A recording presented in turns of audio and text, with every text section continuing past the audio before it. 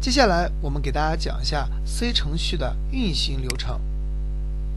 首先，第一个阶段是编辑阶段，类似于文本编辑，将程序代码输入进去，可以进行修改、增加和删除。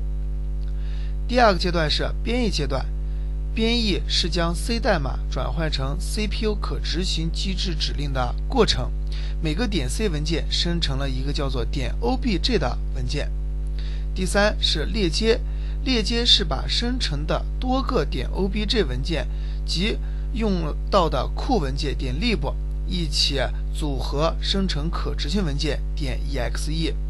最终是运行阶段，运行是指运行链接环节生成的可执行文件得到预处理结果的过程。右手边是整体的一个流程图。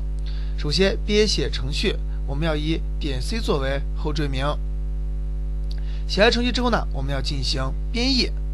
编译后会生成点 obj 的目标代码，最终将点 obj 的目标代码以及点 lib 的函数库最终编译生成链接程序，最终生成点 xe 点 exe 的可执行文件即可。